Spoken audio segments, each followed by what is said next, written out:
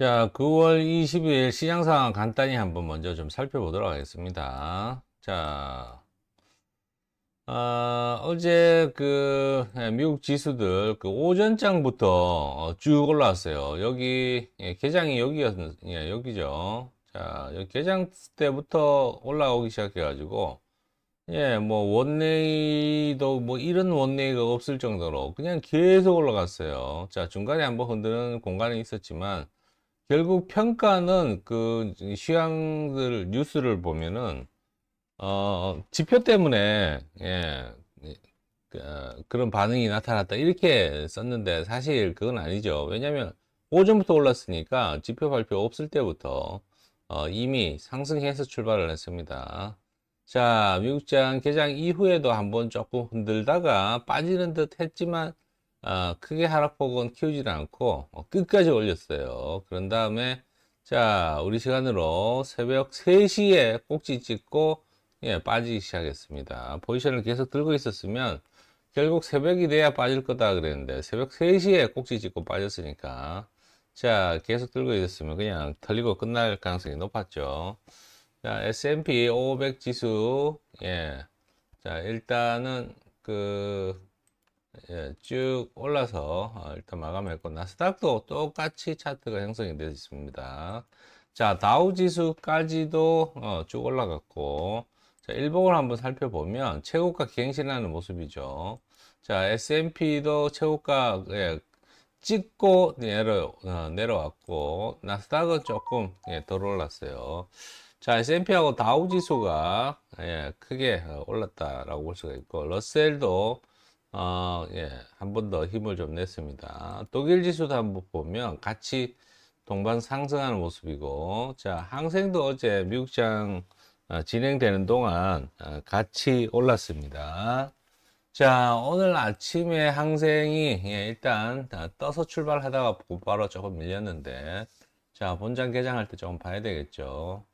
자, 예, 골드를 한번 보면 얘 반응이 맞는 건데 자 골드는 아시아 시장에서 쭉 올랐다가 아, 미국장 개장하고 난 다음에 크게 올라가지는 않았어요. 한 아, 우리 시간으로 새벽 2시 정도까지 올랐다가 먼저 빠졌죠. 그러니까 골드가 먼저 빠지고 그 다음에 지수가 빠졌습니다.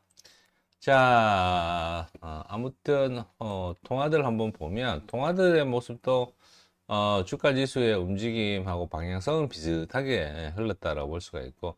자 유로 보면 예, 얘도 오전장부터 계속 올라갔어요. 아침에는 좀 빠졌다가 예, 쭉 올라갔는데 자 예, 뭐 미국장 개장 음, 하고 난 다음에 얘는 좀 뒤늦게 좀 올랐다가 좀 주춤하고 있습니다. 자 일본을 보면 야, 유로 유로입니다. 쭉 어, 아래 위로 긴 어, 그 뭐야 어, 진폭을 좀 보이고 있고 자 쭉 빠졌다가 어, 확, 확 들어 올렸어요.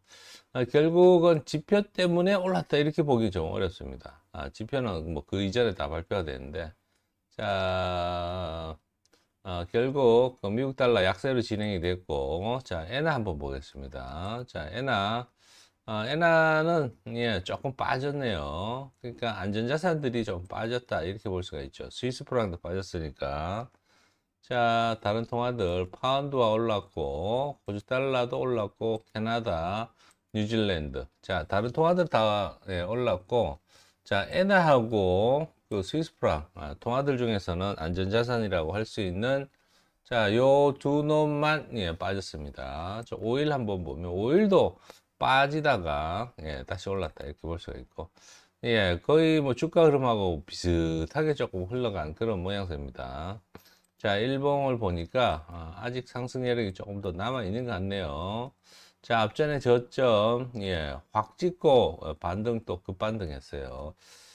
아, 자, 일단 지수는 상당히 지금 예, 뭐 일봉을 보더라도 그 앞전에 나스닥 어, 그 금리 인하 기대 때문에 예, 빠져도 조금 빠지다가 금리 인하를 0.5% 하니까 오히려 주가가 빠져버렸죠. 빠졌다가 어제 뒤늦게 또 올랐어요. 와, 이렇게 움직이면, 야, 이거 완전히 그 금리 인하 하고 난 다음에, 아, 금리 인하 약발이 없구나. 이렇게 판단할 수 있었는데, 야, 어제 뒤늦게 올랐다. 참.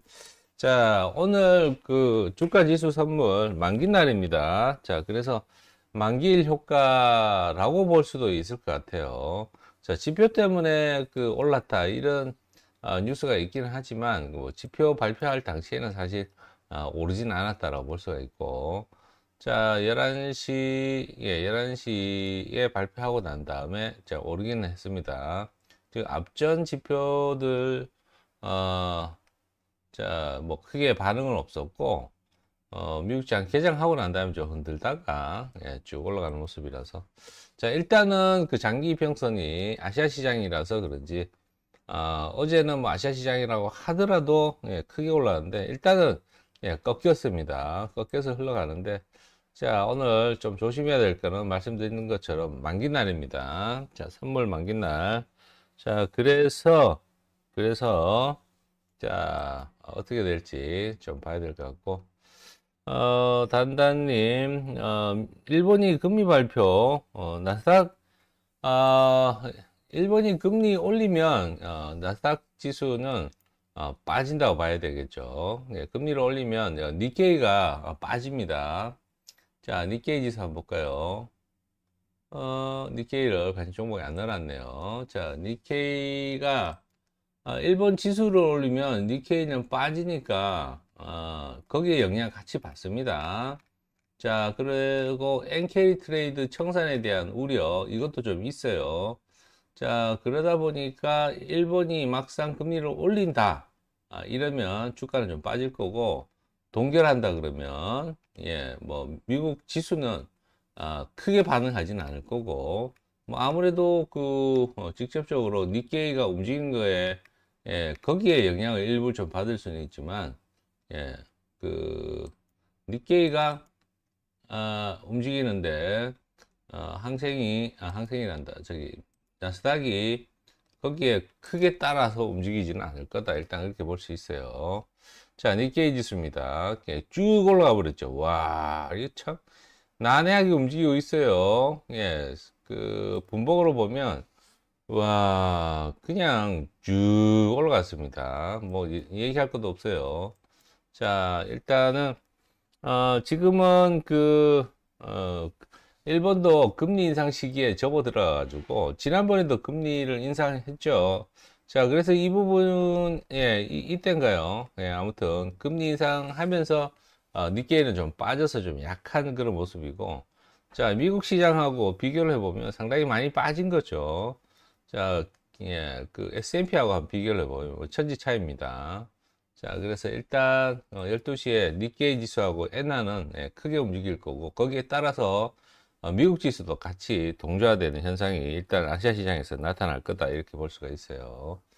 자, 간단히 설명드렸습니다. 자, 아, 황생, 자, 뚜껑 여는 거 좀 지켜보도록 하죠.